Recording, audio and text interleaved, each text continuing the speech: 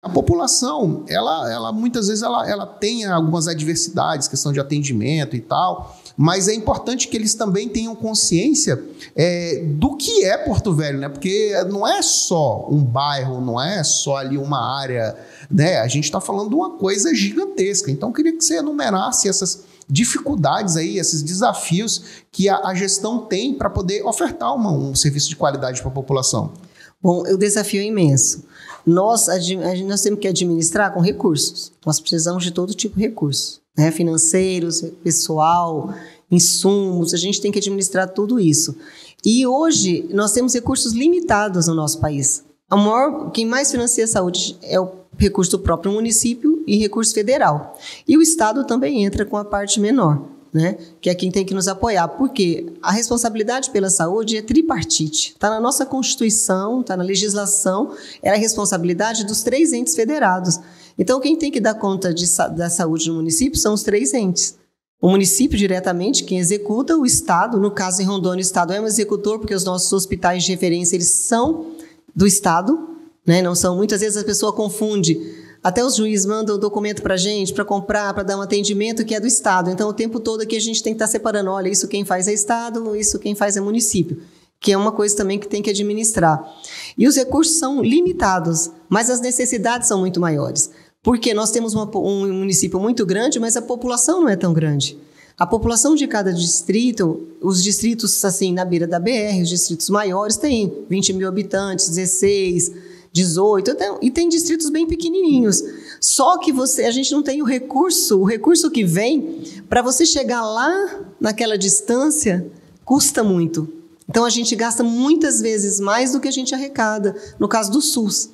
Porque nós temos que montar um trabalho, por exemplo, montar uma unidade com equipamento, com vigilância, com toda a estrutura, é, com funcionários, né, médico, enfermeiro e, e técnicos e agente, e carro, ambulância, para uma população muito pequena.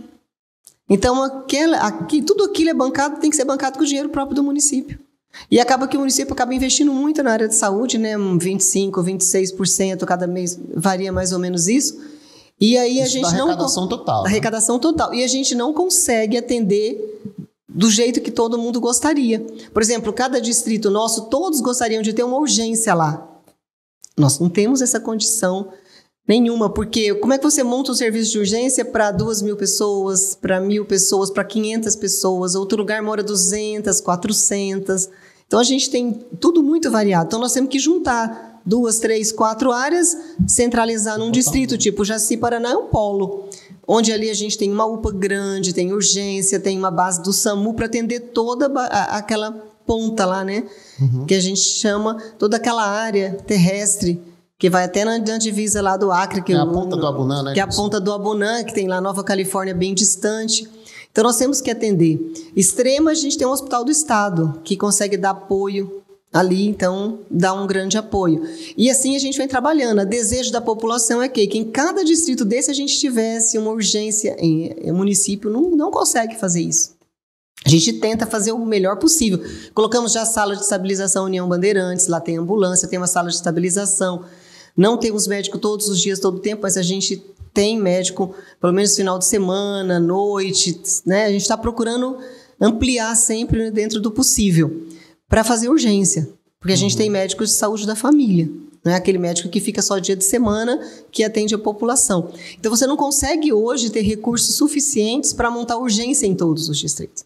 Para isso a gente precisa crescer, né? Precisa ter mais gente, ter uma população maior, para você conseguir financiamento para ampliar. Mas eu acho assim que a gente tem trabalhado muito, acho que a prefeitura trabalha muito para conseguir ir melhorando essa saúde nessas áreas distantes. Sem esquecer que o nosso grande problema é aqui na cidade, né? Sim. Porque a maior parte da população está na cidade. Então a gente tem que cuidar daqui e também cuidar de toda essa população que está espalhada. Né?